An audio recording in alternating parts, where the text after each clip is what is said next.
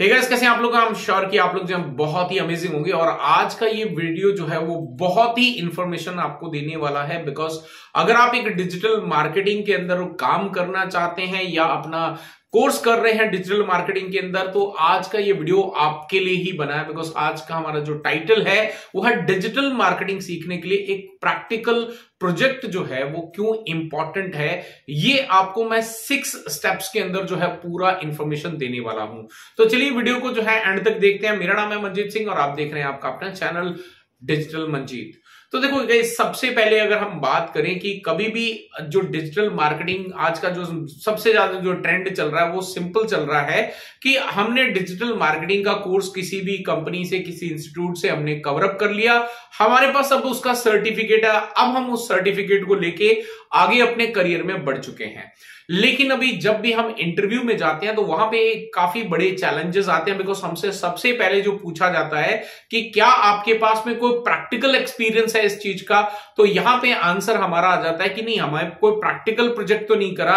यानी कि किसी प्रैक्टिकल वेबसाइट के ऊपर में हमने एस का काम नहीं किया है, लेकिन हमारे पास में नॉलेज बिल्कुल अच्छा है। हमारे पास में सर्टिफिकेट हमने ऐसी रेपुटेशन इंस्टीट्यूट से किया है। No doubt on that part कि आपने बहुत अच्छे इंस्टीट्यूट से किया, सब कुछ ओके है। दी ओनली थिंग इज़ कि आपको प्रैक्टिकल जब तक नहीं करोगे ना, तब तक चीज़ें समझ में नहीं आएगी। एक छोटा सा एग्ज़ाम्पल देके समझाने की कोशिश करता हूँ।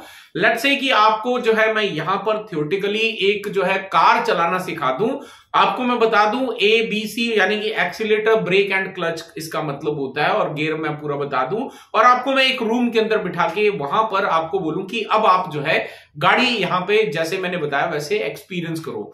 तो आप दो महीने करो, चार महीने करो, छह महीने करो, कोई फ़र्क नहीं पड़ता, लेकिन जिस दिन मैं आपको रियल गाड़ी के अंदर बिठाऊँगा, और उस दिन आपका जो जजमेंट है, वो डेफिनेटली आउट ऑफ़ फोकस जाएगा बिकॉज़ आपको प्रैक्टिकल वो गाड़ी जब ऑन रोड चलती है, जब ट्रैफ़िक होता है, वहाँ पर कैसा एक्सपीरियंस होता है, ये आपको नहीं है। तो यही चीज़ यहाँ पे डिजिटल मार्केटिंग के अंदर भी एप्लीकेबल होती है। तो चलिए भी छह पॉइंट्स मैं आपको बताता हूँ कि क्यों आपको प्रैक्टिकल प्रोजेक्ट के ऊपर में काम करना ज़रूरी है।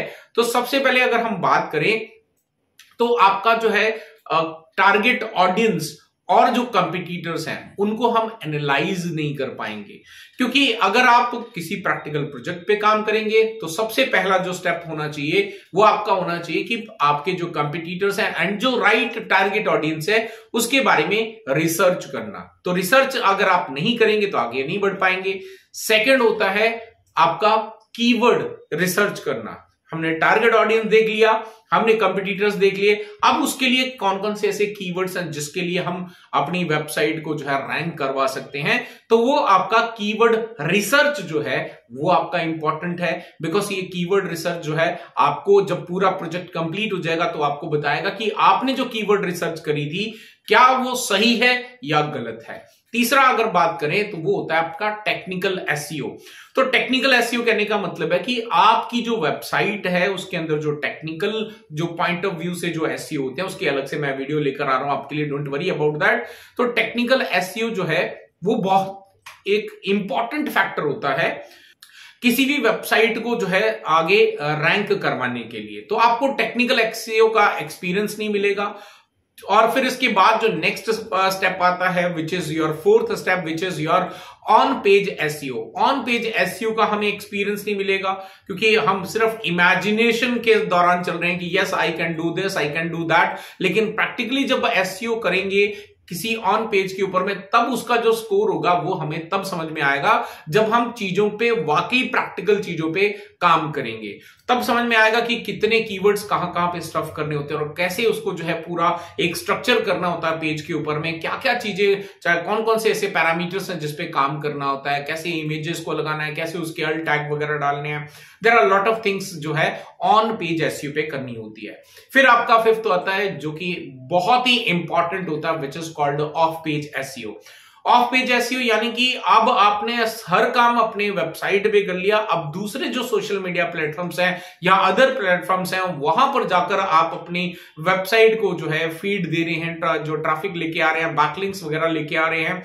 उनके ऊपर में आपको काम करने का जो एक्सपीरियंस है, वो मिल जाएगा। तो फिर आपको समझ में आएगा कि कितना हम ऑफ़ पेज एस कर रहे हैं और कितना ट्रैफ़िक हम जो है, वो लेकर आ रहे हैं। ये सब करने के बाद फाइनल जो स्टेप आता है, वो होता है आपका एनालिटिक यानी कि मॉनिटरिंग कि हमने जो किया, अब तक क्या वाकई वो जस्टिफाइड है? क्या वाकई वो काम कर रहा है? क्या वाकई वो जो है हमारे लिए ट्रैफ़िक लेकर आ रहा है? क्या वाकई वो हमारे लिए एक जो टास्क जिस लेवल पर जिस गोल को हम रीच करना चाहते थे, क्या वो हमें वहाँ तक लेके जा रहा है? ये चीज़ें तब तक समझ में नहीं आएँगी जब तक आप एक प्रैक्टिकल प्रोजेक्ट जो है डिजिटल मार्केटिंग के अंदर नहीं कर पाएँगे। तो अगर आप एक डिजिटल मार्केटर बनना चाहते हो तो आपको बहुत सारे एस्पेक्ट्स हैं और यहाँ पे मैंने सिर्फ़ एक आपको छोटे मोटे कुछ एस्पेक्ट्स बताए, जिसके बेसिस के ऊपर में आप बिल्कुल अगर आगे डिजिटल मार्केटिंग के अंदर बढ़ना चाहते हैं तो मेक श्योर sure करें कि आपके पास में प्रैक्टिकल प्रोजेक्ट होना ज़रूरी है। जब तक प्रैक्टिकल प्रोजेक्ट के ऊपर में आप हैंड्स ऑन नहीं करेंगे, तब तक आप जो है, एक जो प्रैक्टिकल जो चीज़ें होते हैं, जो प्रैक्टिकल एक्सपीरियंस होता है, उसको आप नहीं समझ पाएँगे। आई होप गाइस कि ये वीडियो आपको पसंद आएगा अगर पसंद आया है तो लाइक करें शेयर करें, और जिन्होंने चैनल को सब्सक्राइब नहीं करा है चैनल को सब्सक्राइब कर दें, क्योंकि इस चैनल के ऊपर मैं अब इस तरह से बहुत ही इंफॉर्मेटिव वीडियो जो है, वो मैं आपके लिए लेके आते रहूँगा। तो डेली बेसिस पे आपको वीडियो यहाँ पे मिलने वाले हैं। सो जल्दी से चैनल को सब्सक्राइब करके बेल का आइकन ज़रूर दबा दें, ताकि जब भी वीडियो अपलोड करूँ, तब तक आपको नोटिफिकेशन मिलता रहे। फिर मिलता हूँ एक और नए वीडियो के साथ। Till then stay safe good bye